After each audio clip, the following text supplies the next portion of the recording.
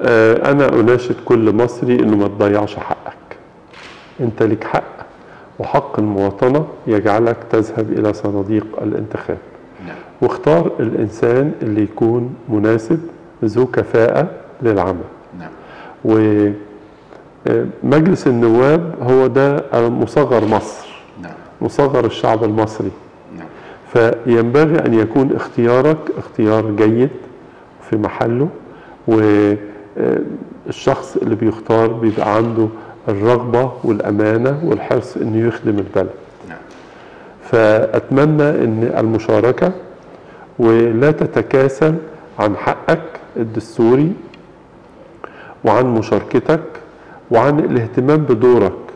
ومش مشاركتك بس ده أنت لازم تشجع الآخرين على الاهتمام بكده. وأوعى تستمع إلى أصوات الإحباط. اللي بتقول يا عم هيعملوا إيه؟ هيغيروا إيه؟ ما اللي نبات فيه نصبح فيه واللي نعرفه أحسن ما نعرفوش. شوية الكلام اللي ما قالوش معنى. لكن الأمم والدول تتقدم بالاختيار برلماني قوي. نعم. يكون الاختيار ده اختيار على مستوى وكل ما كان آه، مجلس النواب يجمع كفاءات ويمثل كل الشعب كلما كان ناجحا. تفاءلوا دائما بالمستقبل والمستقبل في صالح مصر.